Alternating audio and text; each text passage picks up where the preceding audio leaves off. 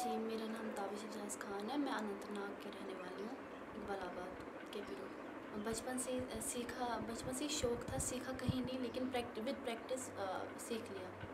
जी मेरा तो बचपन से ये शौक़ था, लेकिन विद टाइम 2016 जब अनरेस्ट हुआ यहाँ पे तो मैंने तब स्टार्ट की पेंटिंग अपलोड करना और रेस्पॉन्स लोगों का बहुत ज़्यादा अच्छा हुआ। तो उस तब से मैंने इसमें बहुत ज़्यादा तवज्जो दी, मैं इसकी तरफ़ बहुत ज़्यादा हुई। लेकिन विद फिर जब मैंने एम चूज़ किया क्योंकि मुझे वही था शौक़ असली में।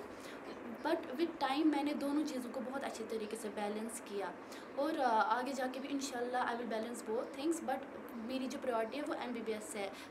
पहले, लेकिन आगे जाके मैं चाहती हूँ कि मैं एक आर्ट गैलरी खोलूँ साइड वेज में other than being a doctor घर वालों का तो मेरा हमेशा सपोर्ट रहा है, चाहे एमबीबीएस में हो या आर्ट में हो, उन, उनकी, उन्होंने बोला था आगे जब पहले कि आपकी जो मर्ज़ी है वो करो, लेकिन मेरी मर्ज़ी एमबीबीएस ही था और डॉक्टर बनना ही था, लेकिन साथ साथ उन्होंने इसमें भी मुझे बहुत ज़्यादा सपोर्ट किया, खासकर मम्मा पापा वो बहुत ज़्यादा सपोर्ट हुआ हर किसी मामले में मेरे। जी मैंने बनाई है फिफ्थ सिक्स में पहली पेंटिंग बनाई है और विद टाइम मैं बनाती गई पेंटिंग्स जी ये है कि आपके पास जो भी टैलेंट है प्लीज़ आप उसकी तरफ़ बहुत ज़्यादा ध्यान दें। Other than profession choose your passion also और आगे जाके आप अपना एक हार्ड वर्क करो और अपने आप पे एक भरोसा रखो, क्योंकि भरोसा और हार्ड वर्क ही आपको आगे ले सकती है। घर वालों के लिए कि प्लीज़ अपने बच्चों को सपोर्ट कीजिए, क्योंकि एक ऐसी चीज़ है यहाँ पे इस कश्मीर में तो ज़्यादातर हमें पेरेंट्स का सपोर्ट बहुत ज़्यादा ही इंपॉर्टेंट है,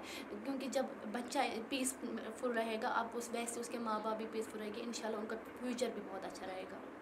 सक्सेसफुल उतना ज़्यादा अभी विद टाइम अलहमदिल्ला ये बहुत ज़्यादा सक्सेसफुल हो रहा है बट यहाँ पे क्या है, कश्मीर में थोड़ा प्लेटफॉर्म्स की कमी है, यहाँ पे बहुत ज़्यादा कमी है, किसी भी टैलेंट के लिए कमी है प्लेटफॉर्म्स की तो उसकी वजह से क्या है कि यहाँ पे other than other countries other than other states यहाँ पे उतना सक्सेसफुल नहीं रहता है टैलेंट बच्चे का जितना बाहर रहता है।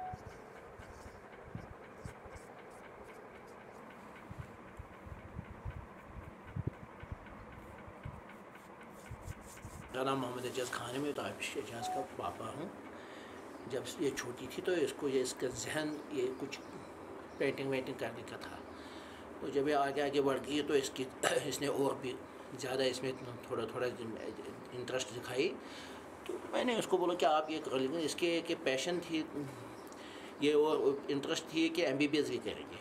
इसने बोला, नहीं, मैं एम बी बी करोगे। ये मैंने बोला था, इसको बेटी, आप शायद नहीं कर पाऊँगी इसने बोला, नहीं कर पाऊँगी। तो इन ये ठीक कर रहे हैं और मेरा सपोर्ट इसको हक वक्त मैं किस, इसको ये रोक नहीं रोक, कहीं, कभी भी नहीं रोका कि आप पढ़ाई पर ध्यान दो पेंटिंग पर मत दो या पेंटिंग पर दो आर्ट अपने आर्ट पर दो या उस पर नहीं, मेरी तरफ़ से कोई भी कभी भी कोई, इसको ये दबाव नहीं रहा, कुछ नहीं रहा, जो इसकी मर्ज़ी है उसके।